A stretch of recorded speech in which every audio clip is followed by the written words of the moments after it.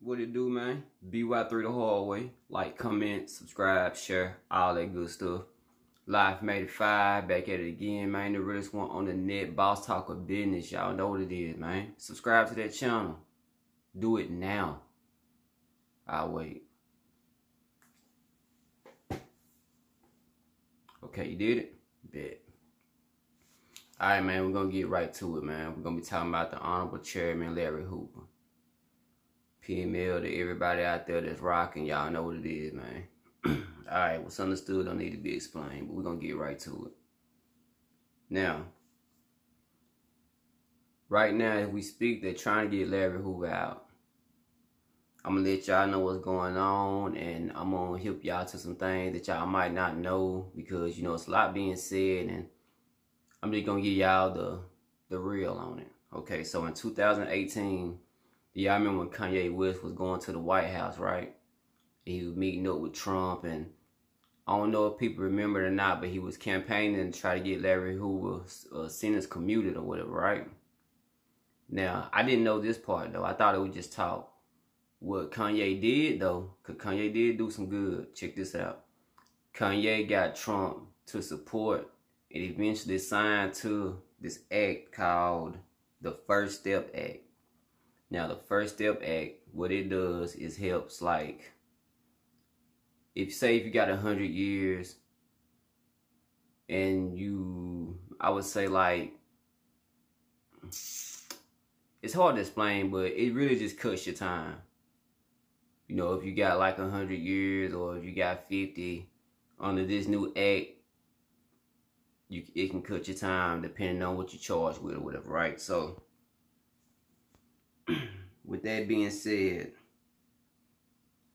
I'm gonna give y'all the the backstory of what Hoover, you know, what got Hoover locked up. Not the whole story, just a little bit. Now, in 73, Hoover caught a, a M charge. I'm gonna put it like that, you know, for YouTube purposes. He caught an M charge, right? Now, while locked up, they say that he was, you know, doing a lot of stuff on the phone and, you know, he say, she say, some stuff they got on tapes or whatever, right? But either way, he got convicted of running a continuing criminal enterprise in 90, was it 97? Yeah, 1997. And for that charge, he got sentenced to life.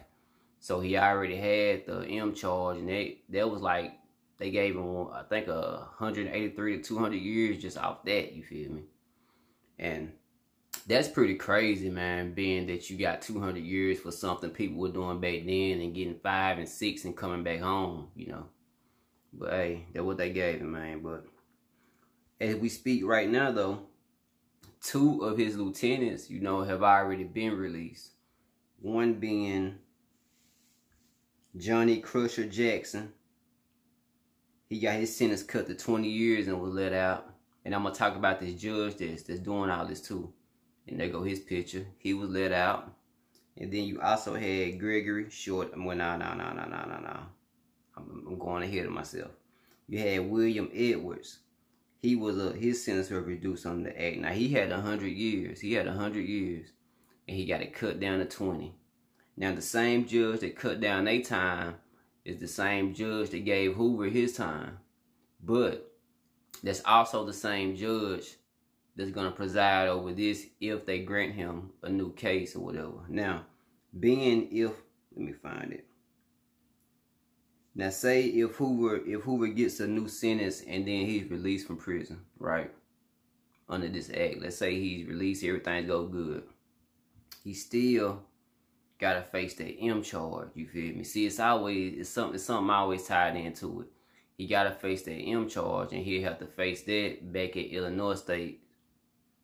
Let me see, yeah. Back at the Illinois Department of Corrections.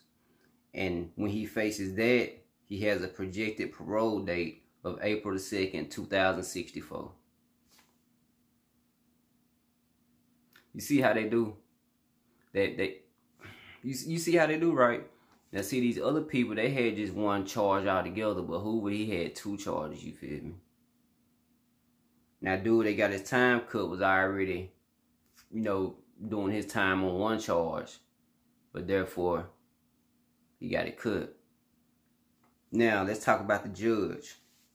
The U.S. District Judge Harry Linen I'm not sure that's how I pronounce his name, but I'm just to say Linen And like I say, that's the same judge that gave Hoover his time. But he's to be the same judge, you know, that... Let me see, okay, if he... If he happens to get this, that judge is the one that can that can deny it or accept it. You feel me? So it's really all in his hands. But you have a lot of people that's pushing for him to stay locked up. A lot of people, man. I I, I was reading this and it's amazing how like they say that if he get out or if he get not even if he get out, if he get closer to home, they don't even want him out. Let let let alone they don't even want him in Illinois, you feel me? Because right now he's locked up at the ADX Supermax, and that's in Florence, Colorado. And to give you an idea how that is, they got the Unabomber there, El Chapo. You know, they got big name people there. I think Jeff Fort there. They got a lot of people there. But my thing is, why have these gangs like Jeff Fort and Larry Hoover, why have them there? And they're not convicted of these type of crimes that the other people are convicted for. But the way they see it, being that they started a gang, you feel me, and and it branched out all over. They just see them as the worst threats in the world, but really just because they're a black man with a lot of power. Because the same way they think that they can go out here and start these wars and all this and keep on insinuating it, they can also stop it, and they know that. Ain't that crazy? They know for a fact that if Jeff Fort or Larry Hoover got out, that a lot of stuff would change, but they don't want that. They want people to keep doing what they're doing, man.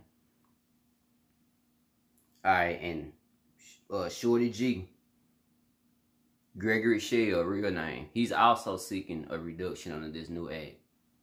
So we're gonna be hearing a lot of things here pretty soon coming from coming from out the Chi. You know, there's gonna be a lot of people hopefully coming home real talk, man. I mean, it's, it's actually a, a possible thing now. Like, I didn't think it was, but when I read this act and I really got in, in tune with it, I'm like, okay, this this really can happen. In the Hoover case, though, they, they still trying to railroad him, man. And all we can do is pray and hope that he come home. But like I say, even if he do get a new trial and released, they still want him to serve that M charge for the Illinois Department of Corrections that happened back in 73. Now, this man been locked up almost a quarter of a century, man. Real talk, a long time.